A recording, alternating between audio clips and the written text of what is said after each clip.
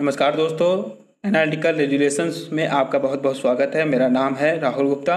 आज हम चर्चा करने जा रहे हैं यूएस गवर्नमेंट के द्वारा चाइनीज़ कंसुलेट को बंद करने के फैसले के ऊपर। क्यों चाइनीज़ कंसुलेट को बंद करने का फैसला लिया गया यूएस गवर्नमेंट के द्वारा? और इस पर चाइना का क्या रिएक्शन आया है? इन सभी विषय पर आज हम इस वीडियो के माध्यम से आपसे चर्चा करेंगे।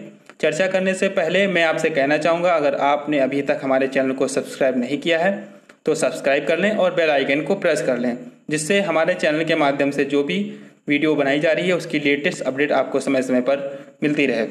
दोस्तों, आप हमें इन सोशल मीडिया हैंडल पर भी फॉलो कर सकते हैं, जिनमें इंस्टाग्राम, फेसबुक, टेलीग्राम और अन्य सोशल मीडिया मीडिया हैंडल के लिंक आपको सामने दिए जा रहे हैं। आप इन लिंक पर जाकर हमारे चैनल से जुड़ सकते हैं और हमारे चैनल को सब्सक्राइब कर सकते हैं।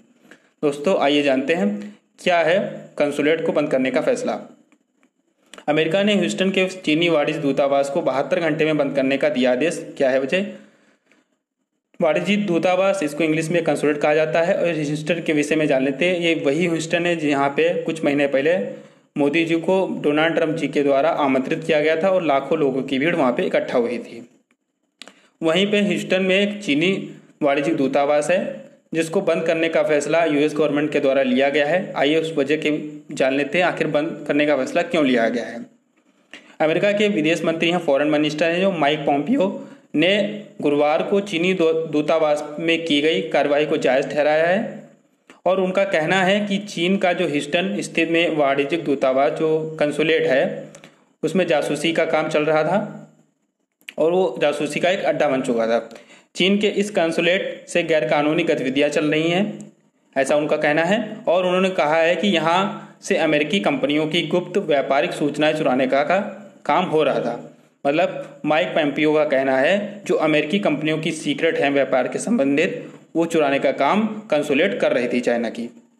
चीन ने बौद्धिक संपदा चुराई है और ट्रेड सीक्रेट चुराए हैं ऐसा फॉरेन मिनिस्टर माइक पॉम्पियो का कहना है। जिसकी वजह से वहाँ के लाखों अमेरिकी नागरिकों को अपनी नौकरी गंवानी पड़ी है, जो इसका कारण बताया है कि चीन ने हमारी बौद्धिक संपदा को चुराया और ट्रेड ट्रेड सीक्रेट चुराए हैं, जिसकी वजह से जो यूएस के नागरिक थे, उनको अपनी नौकरी गंवानी पड़ी है, ऐसा माइक पॉम्पियो का कहना है। दोस्तों, आइए जान लेते हैं कि कंसुलेंट और एम्बेसी में क्या डिफरेंस होता है। एक वाणिज्य दूतावास, जिसको हम इंग्लिश में कंसुलेट कहते हैं, का दूत, एक दूतावास का छोटा संस्करण है, जिसको एम्बेसी बोलते हैं। और आमतौर पर एक ऐसे देश के पर्यटन शहर में स्थित है, लेकिन राजधानी में नहीं। जो कंसुलेट होता है, वो किसी देश के पर्यटन शहर में होगा, लेकिन राजधानी में नहीं होगा। और इसका काम क्या है? इस तरह के वीज़ा जारी कर करने करने के व्यापार संबंधी में सहायता मतलब इस तरीके के वीज़ा जारी करने करने में जो व्यापार में सहायता करते हों और प्रवासियों, पर्यटकों और विशेषज्ञों की देखभाल के रूप में मामूली राजनयिक संबंधी मामलों को संभालते हैं, जो कंसुलेट होते हैं, ये इन कार्यों को देखते हैं। और आइए एम्बेसी के बारे में जान लेते हैं। एक दूतावास, बड़ा और एक वाणिज्यिक दूतावास से ज़्यादा महत्वपूर्ण है। मतलब जो एम्बेसी होती है, वो कंसुलेट से ज़्यादा इंपॉर्टेंट होती है। और एक स्थायी रूप में वर्णित है। जो एम्बेसी है, वो एक स्थायी रूप में वर्णित है। यह एक राजनयिक मिशन है, जो आमतौर पर किसी देश की राजधानी में ही स्थित होगा। मतलब कंसुलेट पर्यटन शहर में होगी देश की, और जो आपका एम्बेसी होगा, वो किसी भी देश की राजधानी में ही होगा, अन्य शहरों में नहीं होगा। इसके काम क्या है? प्रमुख राजनयिक मुद्दों से निपटने के लिए, जो राजनयिक मुद्दे हैं उनसे निपटने के लिए और विदेशों में अपने नागरिकों के अधिकार के संरक्षण के लिए, जो वहाँ पे विदेश में उसके नागरिक रह रहे हैं, उनके अधिकारों की संरक्षण करना इसका एम्बेसी का काम है। ये था डिफरेंस कंसुलेट और एम्बेसी के बीच में। ह्यूस्टन में चीनी महावाणिज्य दूतावास के अंदर जले दस्तावेज़, जब भी बहत्तर घंटे के अंदर वहाँ कंसुलेट को बंद करने का फैसला लिया गया। तो जो आपके कंसुलेट के अंदर कर्मचारी थे, उन्होंने वहाँ अंदर कंसुलेट के अंदर जो भी डॉक्यूमेंट स्थित थे, रखे हुए थे, उनको जलाने का काम किया। क्यों काम किया है? आइए उसको देखते हैं। दूतावास से थोड़ी दूरी पर रहने वाले एक शख्स की शिकायत पर वहाँ पुलिस पहुँची। पुलिस पड़ताल के बाद पता चला कि परिसर के अंदर कुछ दस्तावेज़ जलाए जा रहे हैं। चीन का महा वाणिज्य दूतावास थर्टी फोर सेवनटीन में मांट्रो बुलेवार्ड में स्थित है। जो ये ह्यूस्टन में उसका जो कंसुलेट स्थित है, उसका जो एड्रेस है, वो thirty four seventeen Montrose boulevard है। ठीक है दोस्तों, अगर कोई वजह ना थी तो क्यों वो दस्तावेज़ जलाए गए? कोई ना कोई वजह ज़रूर ही रही होगी, इसीलिए वो दस्तावेज़ जलाए जा रहे थे। ठीक है दोस्तों, इस विषय में मैं ज़्यादा इस वीडियो में चर्चा नहीं करूँगा, क्योंकि एक राजनीतिक मुद्दा है। ह्यूस्टन पुलिस और अग्निशमन अधिकारी उन दस्तावेजों की पड़ताल कर रहा है और जो चीन के ह्यूस्टन में महावाणिज्य दूतावास के आँगन में जलाए जा रहे थे। जो ह्यूस्टन की पुलिस और अग्निशमन अधिकारी हैं, जो दस्तावेज़ जलाए जा रहे थे, उनकी पड़ताल कर रहे हैं कि वो दस्तावेज़ किससे संबंधित थे? क्या वो सही में एक सीक्रेट थे व्यापार से संबंधित? इन सभी विषयों पे वो इसमें जाँच कर रहे हैं। पुलिस को कंसुलेट के अंदर घुसने नहीं दिया गया, क्योंकि कुछ डिप्लोमेट राइट्स होते हैं कंसुलेट के, जिसकी वजह से पुलिस अंदर नहीं जा सकती थी। जो भी कंसुलेट होते किसी भी देश के कंसुलेट के अंदर, वहाँ उस देश की पुलिस तब तक एंट्री नहीं कर सकती है, जब तक कंसुलेट इजाज़त ना दे दे। ये थी वजह कि पुलिस को घंटों बाहर खड़ा रहना पड़ा। उसके बाद कंसुलेट की इजाज़त होने के बाद उसके अंदर पुलिस को प्रवेश मिला। चीन ने टेक्सास में चीन दूतावास को बंद करने के आदेश पर जताया कड़ा ऐतराज। ज़ाहिर है दोस्तों, ये जो टेक्सास के ह्यूस्टन में जो कंसुलेट था, जो चाइना का था, चाइना का था, जिसको बंद करने का फैसला यूएस गवर्नमेंट के द्वारा लिया गया था, उस पर चाइना का रिएक्शन आना स्वाभाविक सी बात है। उनका कहना क्या है? यहाँ स्थित चीनी दूतावास ने, हम इसकी कड़ी निंदा करते हैं। जो चीनी दूतावास है, वहाँ पे ह्यूस्टन में स्थित, उसने कहा है कि हम इसकी कड़ी निंदा करते हैं और ह्यूस्टन में चीन के वाणिज्यिक दूतावास को अचानक बंद करने के आदेश का दृढ़ता से विरोध करते हैं। मतलब ह्यूस्टन में जो कंसुलेट है चाइना का, उसका कहना है कि जो हमारा कंसुलेट बंद किया जा रहा है, उसका हम घोर विरोध करते हैं। दूसरी तरफ़ क्या है? दूसरी तरफ़ यह हुआ कि अमेरिकी प्रतिनिधि सभा ने राष्ट्रीय रक्षा प्राधिकरण अधिनियम, जिसको एन डी ए में संशोधन को सर्वमत से पारित कर दिया गया, इसमें गलवान घाटी में भारत के खिलाफ चीन की आक्रमणता और दक्षिण चीन सागर जैसे विवादित क्षेत्रों में तथा आसपास में चीन की बढ़ती क्षेत्रीय दमंगई पर निशाना साधा गया है और साथ ही कहा गया है कि चीन ने कोरोना के बहाने भारतीय क्षेत्र पर कब्जा करना चाहता था। क्या है? चीन जो है, अपने आसपास के लगभग छः देशों के साथ सीमा विवाद चल रहा है उसका और दक्षिणी चीन सागर में भी उसने अपनी दबंगई दिखाई है। इन सभी मामलों के ऊपर चाइना चाइना को घेरा गया है। जिसमें यूएस ने ये बताया है लोगों को।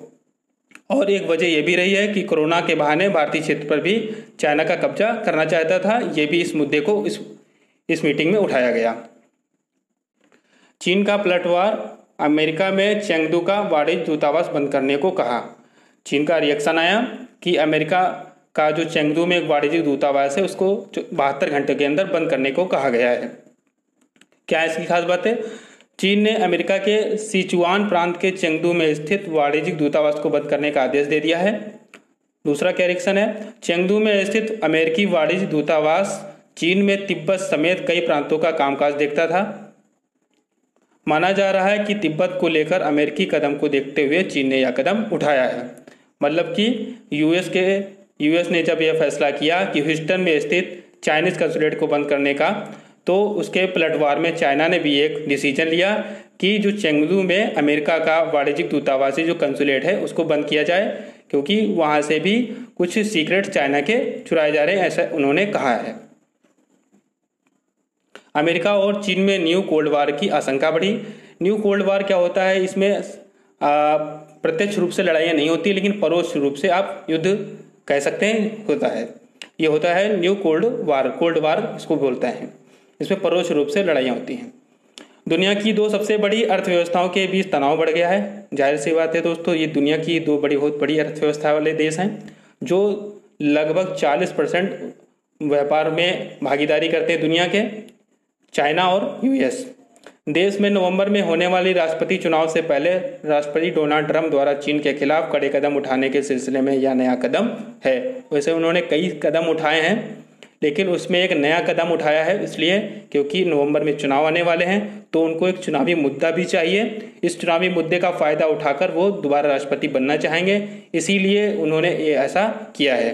ये भी एक वजह हो सकती है कंसुलेट को बंद करने की और चाइना के खिलाफ ये डिसीज़न लेने की।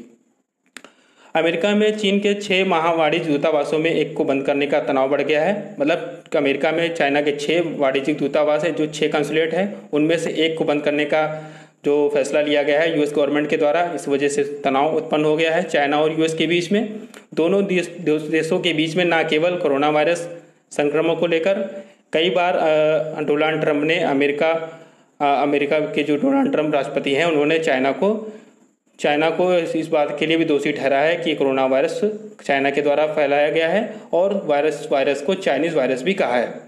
को लेकर व्यापार में भी इनके आमने सामने हो चुकी है। मानव अधिकारों को लेकर भी बहस चल रही है और हांगकांग देश के जो अधिकार है उसको लेकर भी, तथा दक्षिण चीन सागर में चीन के दावे को लेकर भी तनाव चल रहा है। दक्षिण सागर में जो 90 परसेंट हिस्से पर चीन ने कब्जा कर रखा है, उसको लेकर भी अमेरिका और चीन आमने सामने हो चुके हैं और होने की आशंका भी है। और ये तीसरे विश्व युद्ध की एक, समझ लीजिए आप, अलार्म है। इसीलिए ये चाइना के द्वारा और यूएस के बीच में जो मतभेद उत्पन्न हो रहे हैं, आप इन बातों को इसमें इस तरीके समझ सकते हैं कि इन दोनों के बीच में हो सकता है कि आने वाले समय में आप सभी लोग तीसरे विश्व युद्ध को देखेंगे। तो ये थी ये चर्चा कंसुलेट के ऊपर। आई होप आपको इस, ये वीडियो पसंद आया होगा।